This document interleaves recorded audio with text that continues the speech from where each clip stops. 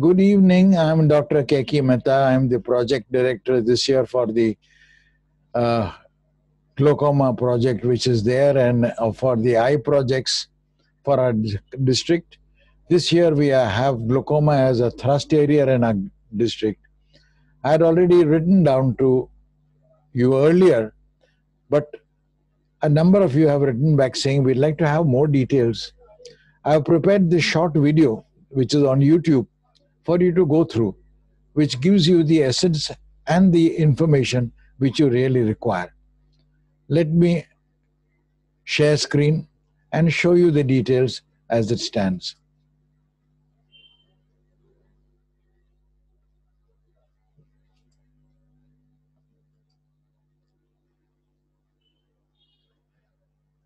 Question is why are we doing this awareness and control program? in the year 2021. Let me explain to you how it runs.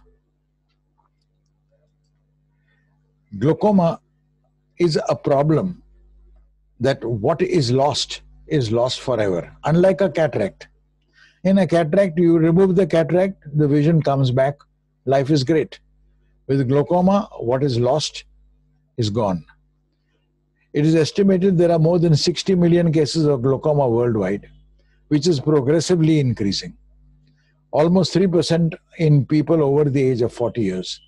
The estimated number of cases of glaucoma in India is 12 million, and around a one fifth of the estimated number of cases is the global burden of glaucoma.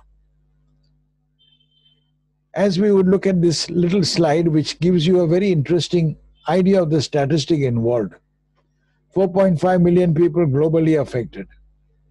More than 12% of them are due to glaucoma. Second most common cause of blindness worldwide.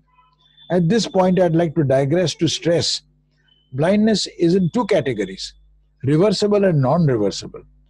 Glaucoma is a non reversible category. 50% of people having glaucoma in developed countries are not even aware of them having this glaucoma. And in the under, underdeveloped parts of the world, it may rise still further.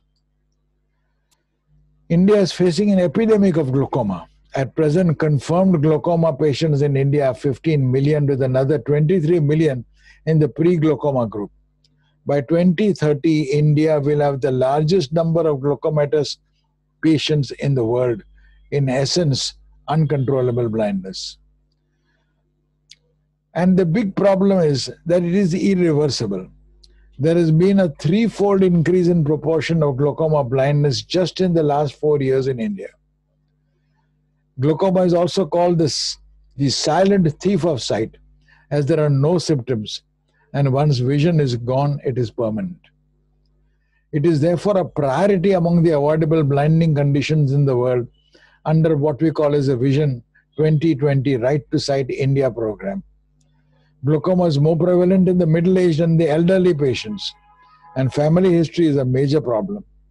It is estimated that the chances of having glaucoma are around 10 times higher in the first degree relatives of glaucoma patients. How do you detect it? You detect it using a tonometer. Normal tonometers used to be something used to place on the eye after putting numbing drops in the eye. We no longer use that.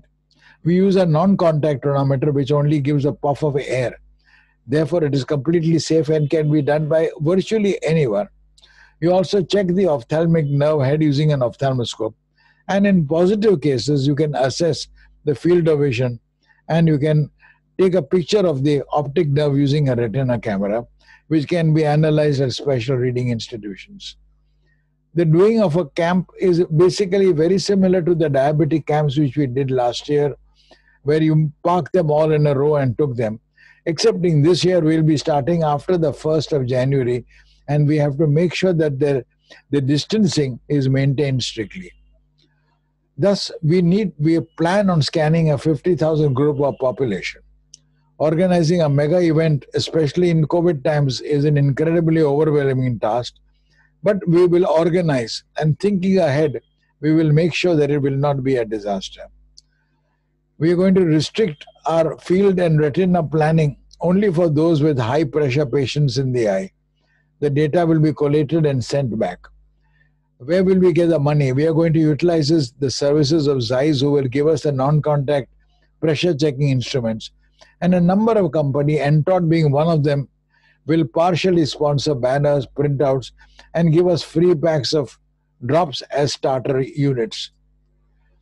It will be a great camp event, and we our district can and will be truly proud of it.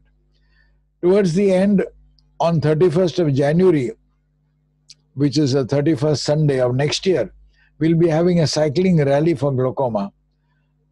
It is along the same lines as the famous Tour de Cure cycling rally run by the American Diabetic Association. We have run it for the last three years and it has gone now from strength to strength. One of the previous rallies we had had almost 1400 people, which we had for diabetes.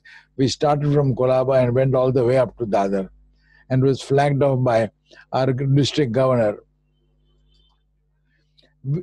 Just to recapitulate the words of Holger Knaack, we believe that our acts of service, large and small, generate opportunities for people who need our help. And Rotary opens opportunities for us to live a richer and more meaningful life. Further details regarding this project, you can contact me again. I'm the district project, one of the district project directors, and my number and telephone numbers are there. We will be starting this, as one would say, in the first week of January. At present, because of COVID, we cannot do so, but we need your help to make this a really successful because it is so important that it will prevent blindness. Thanking you so much. I would like you to give it a thought, share it with your board of directors. Any questions, any queries, get back in touch. We've got a beautiful team of people who will be able to help you really achieve and do this glaucoma camp successfully. Thank you for a patient hearing.